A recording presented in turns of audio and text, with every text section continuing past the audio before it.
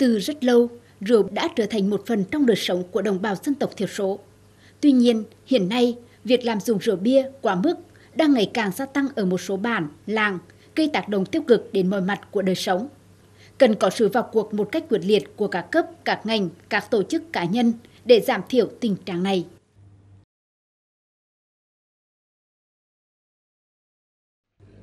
Sử dụng rượu bia bất cứ thời điểm nào, không có lý do gì quan trọng cũng tổ chức uống rượu, bia là thực trạng chung ở một số vùng dân tộc thiểu số và miền núi hiện nay. Những cuộc rượu triền miên không chỉ ảnh hưởng đến sức khỏe, mà còn làm cho người uống rượu, nghiện rượu, lười lao động, kinh tế khó khăn, gia đình không hạnh phúc với nhiều hệ lụy khác. Tại Quảng Bình, kết quả khảo sát mới đây của Trung tâm Nghiên cứu Quản trị Tài nguyên vùng cao ở hai huyện Tuyên Hóa và Minh Hóa cho thấy 78,32% người trên 18 tuổi vùng dân tộc thiểu số đã sử dụng rượu bia. Tỷ lệ này phân bổ cao nhất ở nhóm 36 đến 50 tuổi, kế tiếp là 26 đến 35 tuổi. Trong đó, tỷ lệ nam giới đã từng sử dụng rượu bia trên 94%. Số người nghiện rượu nặng là đồng bào dân tộc ở các xã Dân Hóa, Trọng Hóa, Thường Hóa, huyện Minh Hóa và xã Lâm Hóa, huyện Tuyên Hóa, chiếm từ 0,5 đến 10,8%.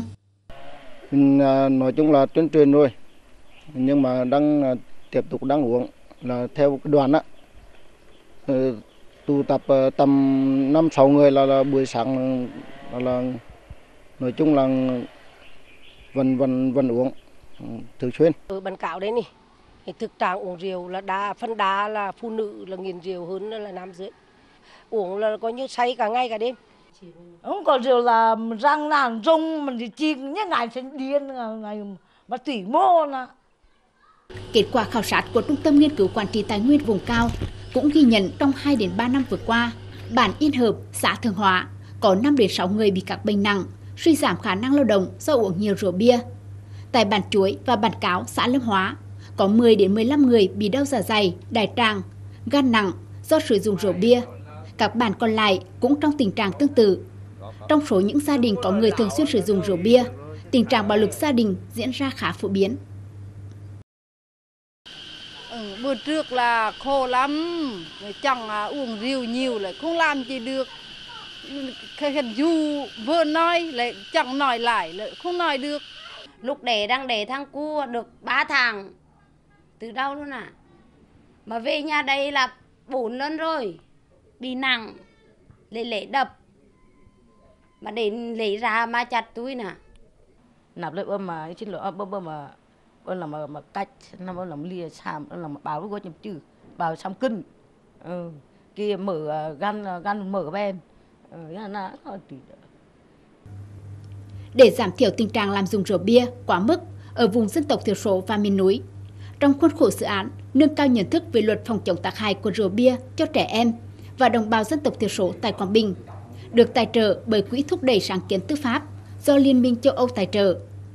Thời gian qua, Trung tâm Nghiên cứu Quản trị Tài nguyên vùng cao và Trung tâm trợ giúp pháp lý tỉnh Quảng Bình đã triển khai nhiều hoạt động truyền thông tại địa bàn 4 xã thuộc hai huyện Tuyên Hóa và Minh Hóa, tỉnh Quảng Bình nhằm nâng cao nhận thức của bà con đồng bào dân tộc về tác hại của rượu bia, đưa pháp luật về phòng chống tác hại của rượu bia đến gần hơn với người dân nơi đây.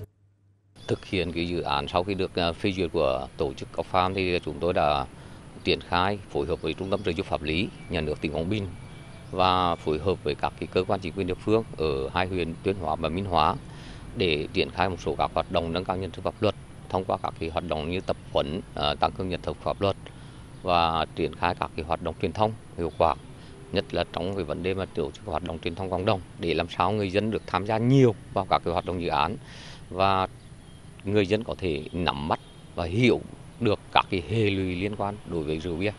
Dự án đây là tôi thấy là trong quá trình triển khai thì cảm thấy là rất là tốt có giảm. À, nhưng mà thêm hơn nữa là cần phải nhân rộng thêm tuyên truyền đến sâu rộng trong quần chúng nhân dân đến các tổ chức chính trị xã hội đến từng hộ gia đình để tuyên truyền vận động cho họ họ, họ, họ nhận thức được cái tác hại rượu bia. Luật phòng chống tác hại của rượu bia có hiệu lực thi hành từ ngày 1 tháng 1 năm 2020 là đạo luật mang ý nghĩa xã hội và tính nhân văn cao với mục đích định hướng hành vi, thay đổi thói quen có hại, góp phần quan trọng nâng cao thể chất, tinh thần, tuổi thọ và chất lượng cuộc sống người dân.